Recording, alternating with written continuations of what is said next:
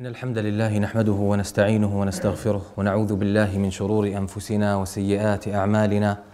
من يهده الله فلا مضل له ومن يضلل فلا هادي له. وأشهد أن لا إله إلا الله وحده لا شريك له.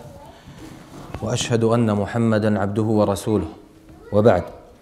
All praise is due to Allah, we praise Him, we seek His aid and we ask for His forgiveness. We seek refuge in Allah from the evils of ourselves and the evil consequences of our actions. Whomsoever Allah guides, none can lead astray, and whomsoever Allah leaves to go astray, none can guide. I bear witness that none has the right to be worshipped except Allah alone, who has no partners.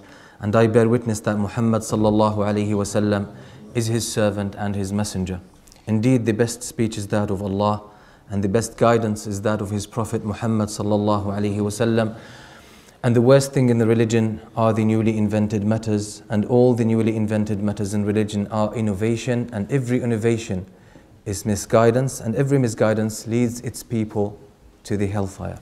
Assalamu alaikum wa rahmatullahi wa barakatuh. I'm very happy and glad to be here. Uh, and it's an honor for me to be at Masjid al Huda here in Bradford. So I appreciate the opportunity and I appreciate uh, you staying here and listening to this lecture. Jazakum Allah khair. Uh, sweetness in Salah.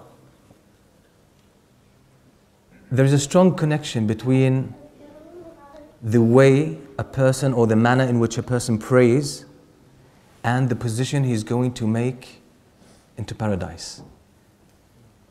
There's a strong connection between your rank in paradise and the amount of khushu', focus that you find in the prayer. Strong connection. These are not my words, but I will relate, inshallah, uh, mention the name of the originator of, this, of these words later on, inshallah. I just want you to imagine someone walking into the masjid, he prays, whether individually, he praises sunnah, or he prays with the imam and jama'ah, and in the middle of the prayer, let's say he has a beard, and he's playing around with his beard, just doing like that. Okay? Do you think this person really is concentrating in what he is doing in his prayer? No. No. Okay. The answer is no. Let me ask another question. Focus, concentration, which is in other words khushu', or the reason, the root of khushu'. Which place or where does it take place? The heart. The heart. Excellent. The heart. Khushu' is in the heart, yet you can't see this man's heart. His focus is in the heart. But you made a judgment about his heart without being able to see his heart. You just saw him, you saw his external behavior, and you passed a judgment on his heart that he doesn't have khushu'. Why? Because of the action. Yeah, you saw his action, but you passed a judgment on his heart. Does that make sense? Who does it make sense to? Let me see the hands. Put them up to where I can see them. Okay, who believes that this is not a justified judgment and that we cannot actually pass a judgment? Almost equally. Who's not sure? Okay. I side with Uncle here with the first answer. There is a very strong connection between your heart and your actions. Actions stem from the heart.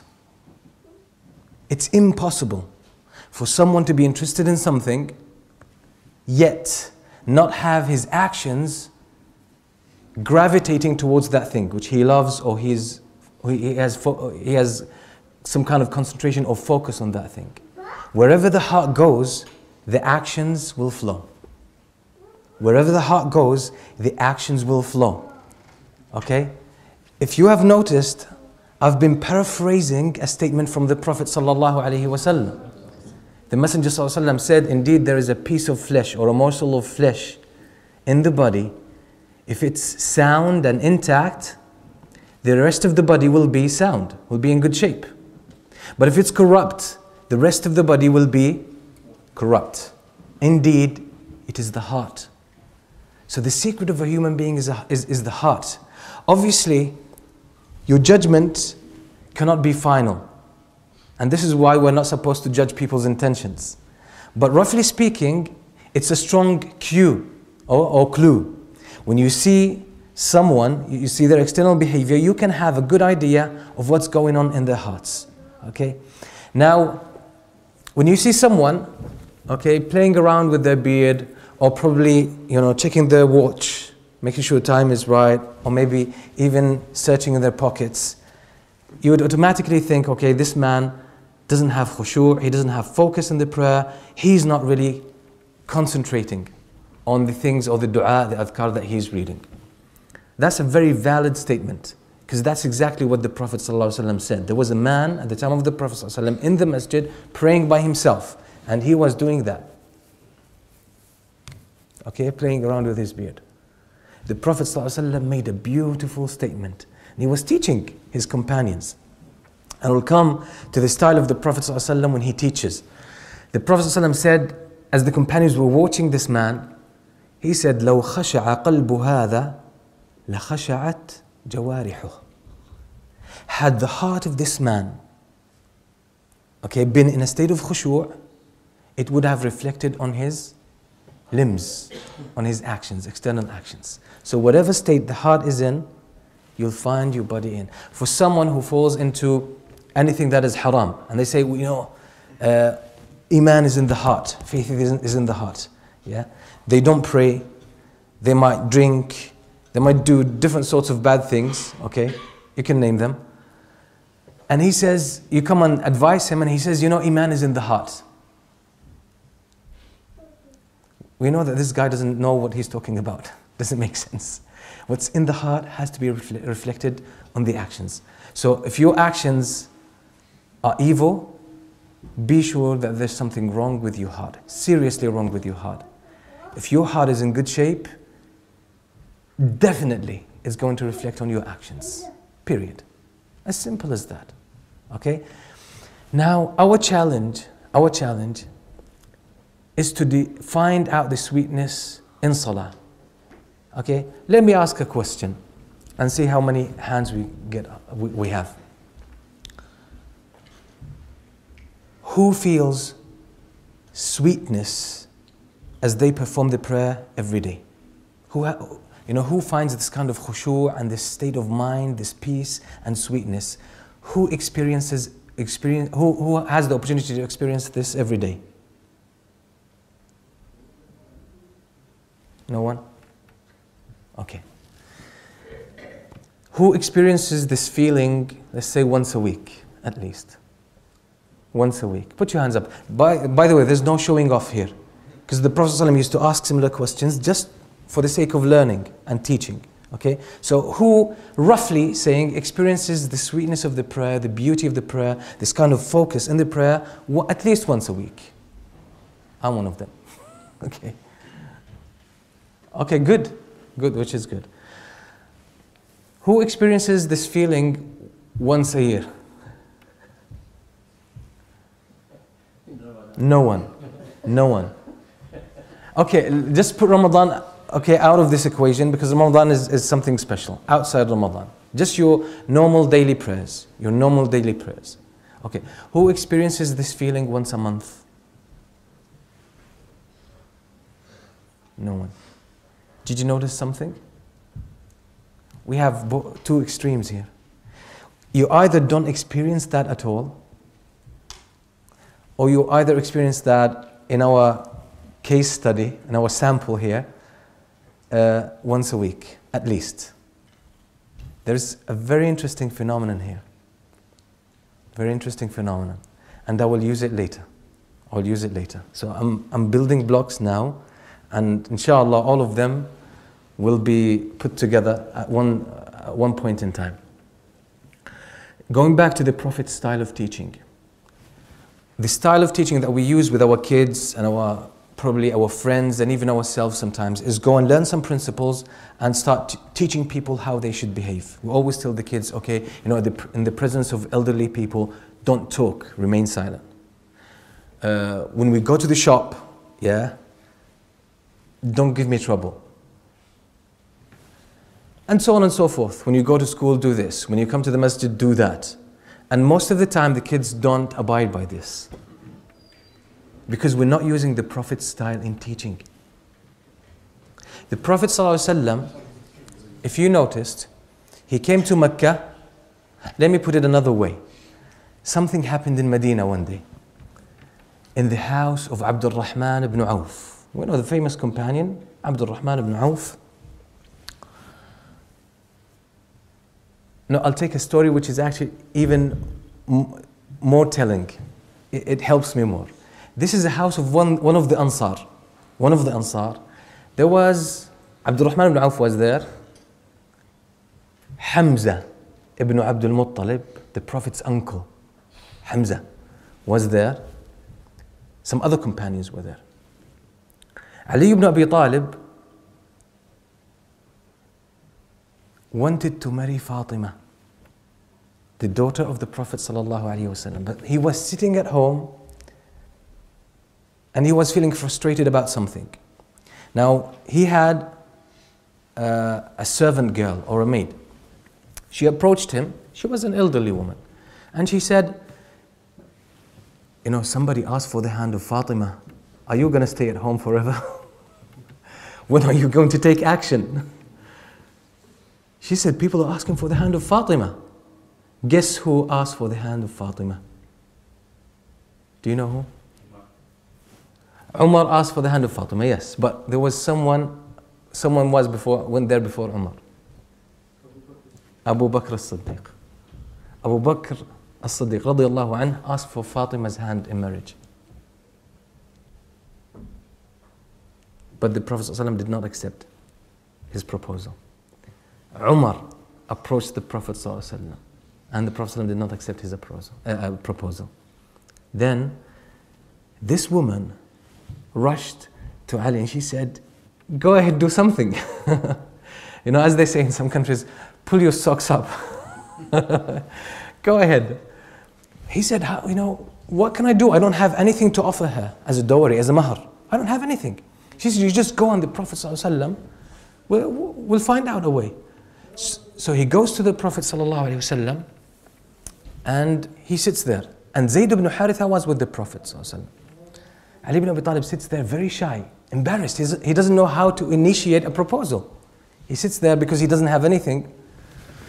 He's sitting there, troubled, a bit nervous. The Prophet ﷺ looks at him and he says, Hey Ali, why did you come here?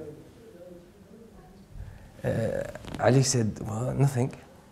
The Prophet ﷺ said, Maybe you came here to ask for the hand of Fatima. In a very fatherly fashion. Obviously, I just want you to visualize, see that as a movie. Ali ibn Abi Talib sitting there, he doesn't know how to initiate the proposal. The Prophet ﷺ asks him, Why did you come here? He says, Nothing. He said, Maybe you came to ask for the hand of Fatima. Imagine what was the response of Ali ibn Abi Talib. Baffled. he was baffled The Prophet ﷺ said, Why are you hesitant? He said, I have nothing to offer her. The Prophet told, ﷺ told him, What happened? You know, what happened to uh, a dir', an armor that I gave you in the, in the time of Badr? The Prophet, uh, Ali ibn Abi Talib said, it's, it's worth nothing. But the Prophet ﷺ then married him. But Ali ibn Abi Talib before that had two camels. Two camels. Camels are very expensive, even at that time. If you had a camel, you were considered to be relatively rich. Ali ibn Abi Talib had two camels, he lost them in one day. This has to do with Hamza and Abdul Rahman ibn radiallahu anhum, and they were, as they were sitting in that home. Ali ibn Abi Talib wanted to get himself ready for Fatima before he approaches the Prophet. So he had the two camels. One that he got, uh, that was his share from the spoils of, of Badr, spoils of war from Badr, and another camel given to him by the Prophet ﷺ. So he was there and he was trying to get more money, more cash in order to uh, marry Fatima. So he left them in the market, in a parking lot, and he went to do some business with a man. When he came back, he found his camel, or both his camels, cut into pieces. The- the- They've, you know, they had been slaughtered, they've been cut into pieces, the guts have been, you know, put in, in the street. Ali ibn Talib, look at that, he couldn't believe it. Now his dreams are vanishing. Camels are gone, there's no marriage. Ali ibn Abi Talib was about 23 at the time. Guess what did he do? Ali ibn Abi Talib, the strong warrior, this great man, do you know what he did? He was in tears. He cried. So he goes to the Prophet ﷺ and he rushes into the house of the Messenger. ﷺ. The Prophet ﷺ looks at Ali ibn Abi Talib in tears. He says, What's wrong? What happened? He said, Hamza. Hamza slaughtered my camels. Hamza slaughtered your camels? I mean, it doesn't make sense. Hamza is your uncle and my uncle. Why should he just slaughter your camels? And he didn't do anything with it. He didn't eat, even like eat them or prepare them for food. He just cut them into pieces and throw them. The Prophet ﷺ wants to find out what's the story. So he goes to the house of that Ansari. He goes to the house, knocks the door. He gets permission to go walk in. And he looks at Hamza and he says, Why did you do that?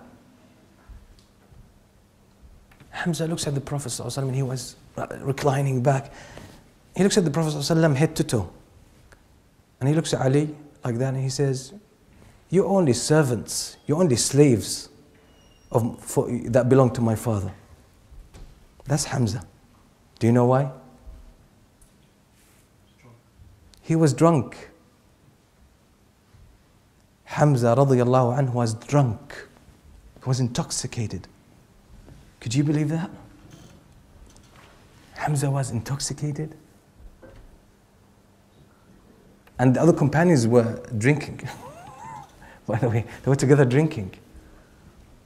But we know that alcohol, khamr, is haram.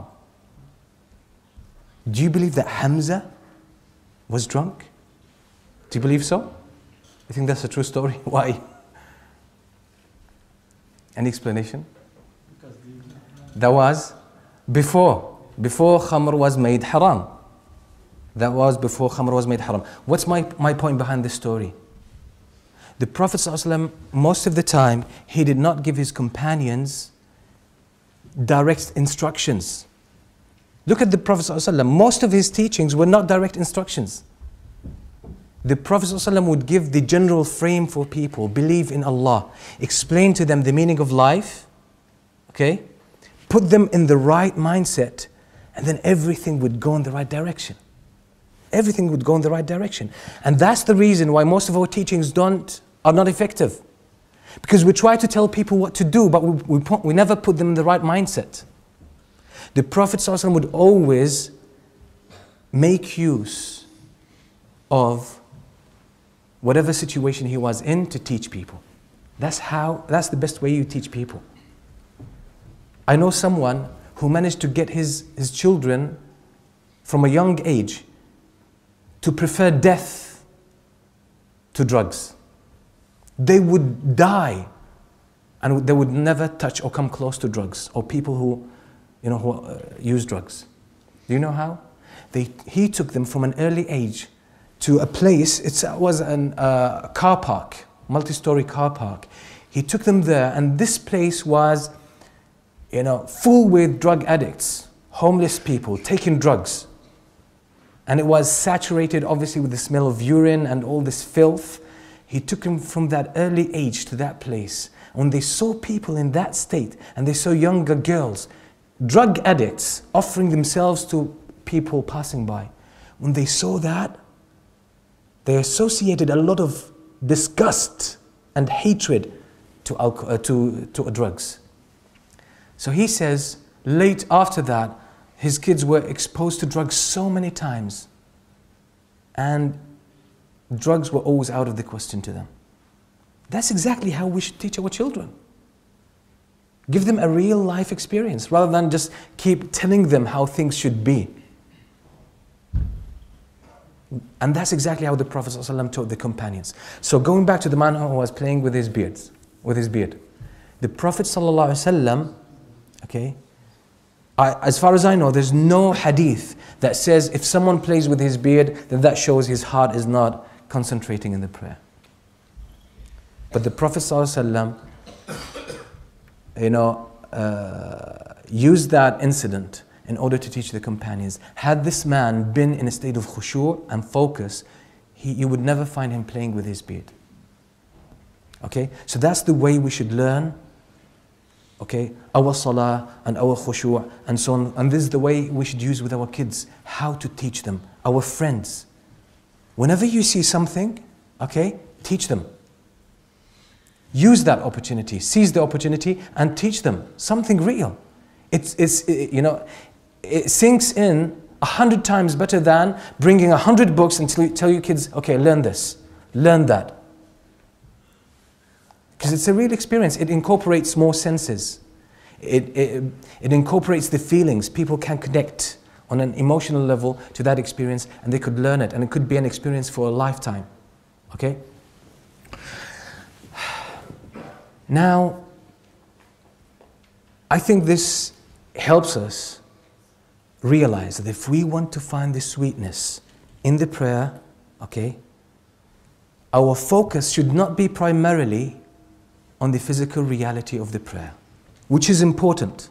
The Prophet ﷺ said, Sallu kama ra'aytumuni usalli. Pray as you have seen me pray. Why is this? Because that's how we should pray. Why is this? Because if we pray in the manner in which the Prophet ﷺ prayed, you will find a huge difference in your salah. And this is the factor number one in having sweetness of, in salah. Keep that in mind. That's number one. Okay, now we got into the main topic or the main subject of this, of this talk. You want to find the sweetness of salah, learn how the Prophet ﷺ prayed and exactly pray just like that. That's the number one. Now, where do we get this from? We get this from the fact that Allah is the all wise, Allah is Al Hakim. What does wise mean? In Arabic, Al Hakim means the one who doesn't do things for no reason, the one who doesn't legislate things for no reason. Everything in Islam is carefully chosen by Allah. Everything the smallest thing in Islam that you might think is trivial, unimportant, insignificant, has a reason, or there's a reason that Allah made it that way. And it has an impact that you should expect from it. So many times people say, you know, what a difference does it make to put your hands here or here, whether to, uh, you know, say Allahu Akbar, put your, Raf' al-Yadayn, put your hands up, or whether you put your hands on your knees as you make uh, ruku' okay, left, right, center, whatever you want to put, whatever you want. What difference does it make? I'm just making salah. Well, yes, ultimately you're making salah, but everything the Prophet ﷺ did in the prayer has significance. Allah says in Surah Al-A'raf, أَلَا لَهُ الْخَلْقُ وَالْأَمْرُ To Allah belong the creation and to Allah belong the legislation. Two things, creation, legislation. Allah created us in a certain format, physically, emotionally, mentally, psychologically, even socially. And He sent down a way of life, a system that is completely compatible with our creation. Completely compatible with our creation. Just like a lock and its key. Exactly. You cannot open that lock except with this key even if you get a key that is similar, but it's slightly different, slightly different, and even you might sometimes be unable to tell the difference between both keys. One of them would open the lock and one would not. That's exactly how Islam works with our human nature. This is why Allah subhanahu wa ta'ala when He describes the Prophet ﷺ, He said, لَوْ يُطِيعُكُمْ فِي كَثِيرٍ مِّنَ الْأَمْرِ لَعَنِتُّمْ If the Prophet ﷺ were to obey you, if he were to follow your desires and your preferences, you would put yourselves in extreme hardship. SubhanAllah, even in your seeking ease, you will ultimately put yourself in hardship. Well, the uh, financial crisis in the world, the economic crisis in the world, is, is, is a clear example. People wanted ease. People wanted, uh, you know, lack of control in terms of in their financial system. This is why riba is halal for them, interest. A lot of the manipulation that is taking place in the financial world and economic world, okay, people are seeking ease. They want more money, they want more affluence, they want more control over the world. But ultimately, what did they do? They made it even hard for themselves. Okay? So that's exactly what this verse is saying. That Allah subhanahu wa ta'ala sent Islam in all its details compatible to your nature. Exactly. There's perfect match. If you miss out on any point, it's going to make a difference. It is going to make a difference. So even the place or where you place your hands in salah, okay, it makes a difference. Yes, your prayer is still valid, but it does make a difference. There's a reason. Allah does not legislate anything, even if it's tiny, minute things, except for a reason. There's something. Allah doesn't do things randomly. Okay? So, the way the Prophet ﷺ prayed is one excellent way to help you reach your khushu'. But that could take you probably halfway through. What could bring about the sweetness of the prayer? If you understand the concept of khushu'. Let me take some definitions. How do you define khushu'? You might say humility, I understand. I need you to explain more. No general words. Who knows, how do you define khushu' to yourself? That's a word we always use. How do you define khushu'?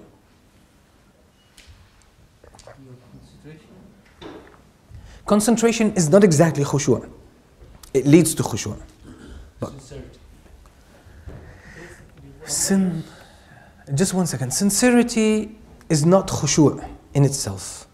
It's strongly related, but it's not khushu'. Humbleness. Humbleness. Yes, humbleness is part of khushu'. It's a great part of khushu'. Humbleness. But can you dig, anyone can dig a bit deeper? What you're reading, you When you are at ease, it's, it's around the same, it's around this, the same level. I need something deeper. when heart's connected to Allah Excellent. Did you hear that? When the heart is connected to Allah. That's the essence of khushu'. That's the secret of salah. Honestly, that's the secret of salah. When the heart is connected to Allah in the prayer, that's khushu'. Because Allah subhanahu wa ta'ala says in Surah Al-Ra'd, Allah says, الذين آمنوا وتطمئن قلوبهم بذكر الله ألا بذكر الله تطمئن القلوب Those who have believed and their hearts find comfort, tranquility in the mention of Allah subhanahu wa ta'ala or the remembrance of Allah. Indeed, indeed, with the remembrance of Allah, with, I would paraphrase it now, with awareness of Allah, with connection with Allah, the hearts are at ease and are in a state of tranquility. Okay? So that's excellent. Very good point. That's where khushu' comes from. Connection with Allah subhanahu wa ta'ala. Okay. You remember the question that I asked who finds khushu' who experiences khushu' in salah? Let me ask you. Who, a general question, it's not related to salah. Who experiences khushu' on a daily basis? Apart from salah. That might be a surprise to you. But who experiences khushu' on a daily basis? Experience it on a daily basis. No, I'm, I'm saying khushu'. Incorporating the meanings you all mentioned. Huh? Not. Yes, outside the prayer.